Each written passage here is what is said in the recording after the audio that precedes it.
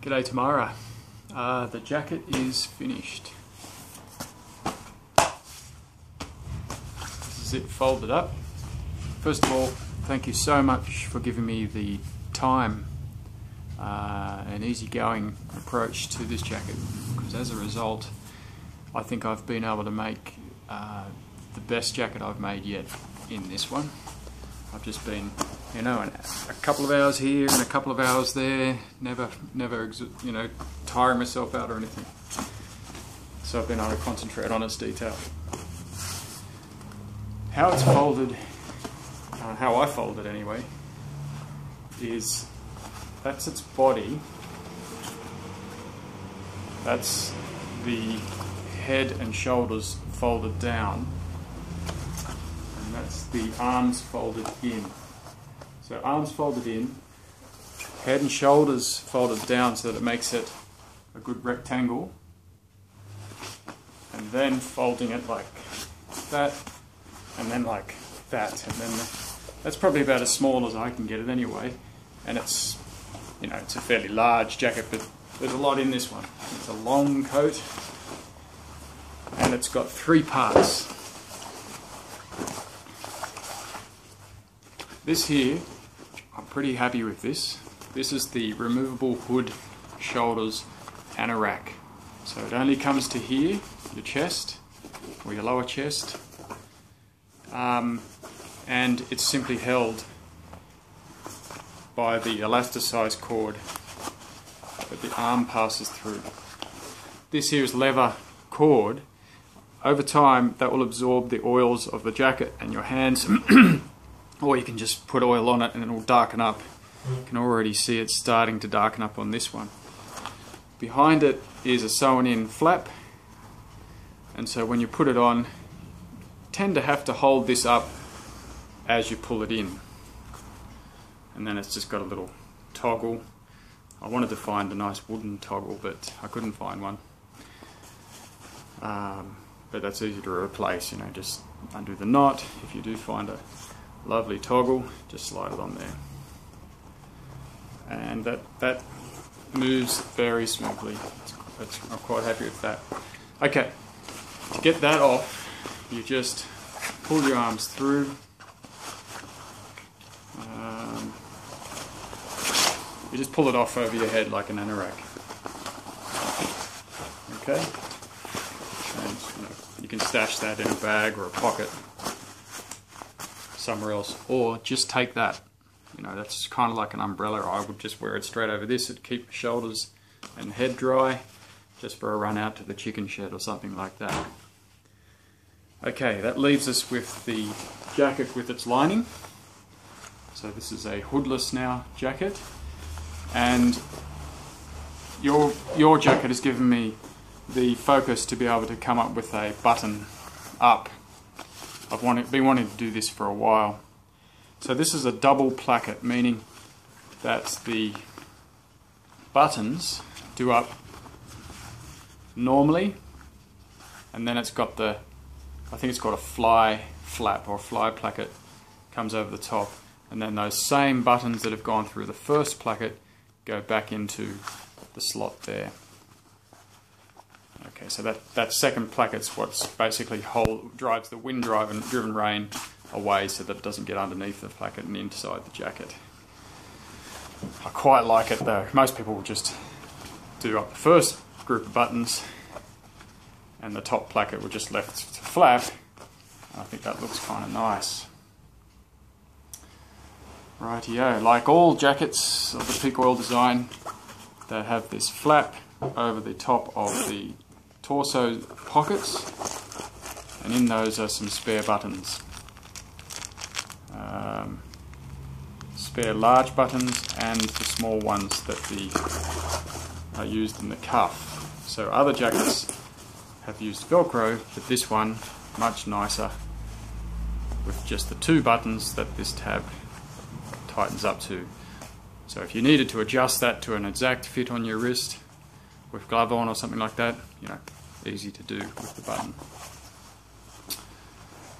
Okay, um, the hand pockets diagonally accessed and free floating uh, wool in there. It's quite cozy. On you they'll be sitting about where your jean pockets are, I'd imagine. So this would be approximately your waistline, uh, lower waistline, hips maybe, and then arms straight down into that pocket there. And the jacket, as we sized you up, long takes you down to mid thigh, I think.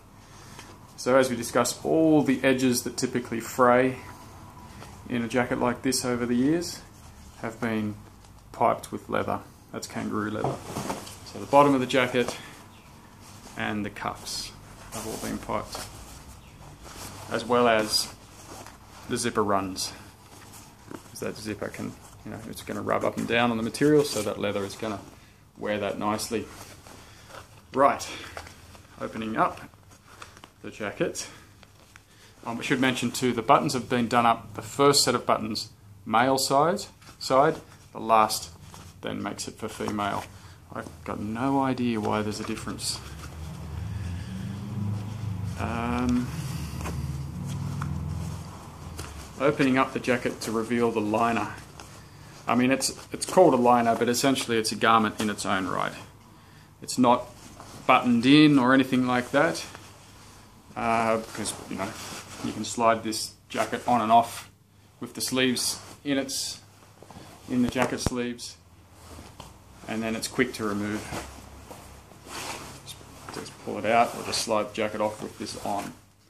As you've seen in the pictures, this liner is uh, all wool and it's kimono style. So the way I've done it is that's a torso pocket just with a gusset flap. So you can check, I don't know, a notebook or even the phone, passport and stuff like in that. And that side comes over the top of the other side.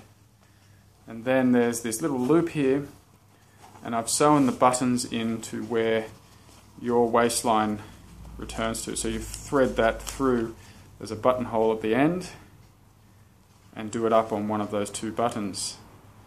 Alternatively, you could replace these buttons with a toggle and just thread the toggle straight into that Okay. Uh, so, just double layer or, or kimono style, that goes across, that comes over, do it up, and it's quite a comfortable garment. Oil skin on the cuffs to protect it, on the placket, and at, the, at its base. And that's the lining. So then in the summer months, or spring and autumn months, summer months too when it's raining, this jacket can be worn by itself without the lining and being wax cotton has this kind of cool cooling effect. It breathes obviously very well and um, yeah, it's, it's a good garment in the summer. Some people let the wax wear off through the winter and um, spring and then it just becomes uh, heavy cotton, breathing nicely, wind stopper, and then coming into the winter or the rainier seasons, wax it again. Waxing it is, what I use is um, beeswax and linseed oil, 50-50, melt them, melt them together, paint it on the jacket, that'll cool it off, it'll go back to its waxy kind of look, then you get a hairdryer or hang it in front of the fire or a radiator and it melts again and soaks into the fabric and you push it into the seams and, and things like that. So the thing about linseed oil is it uh, doesn't dry, it goes, uh, sets basically into a kind of um, gummy, um, gummy resin, very thin, but it would stiffen it up. It stiffens up the coat a lot. And when it warms up from your body heat, it loosens up again. So if you didn't want that, you could possibly use lanolin, that's sheep um, wool oil, instead of um, um, instead of uh, linseed oil. Mix it with the with the beeswax, and then it would be uh, remain soft but oily. Um, otherwise, there's stuff out there called, like Nikwax. I'm not 100% sure what everything that's in Nikwax, but I'm pretty sure it's beeswax based and uh, maybe paraffin wax in with that or something like that. Anyway, that's that's how to reproof your coat. Um, yeah, I'm pretty proud of this coat. I can't wait to see it on you. Thanks again for the business. See ya.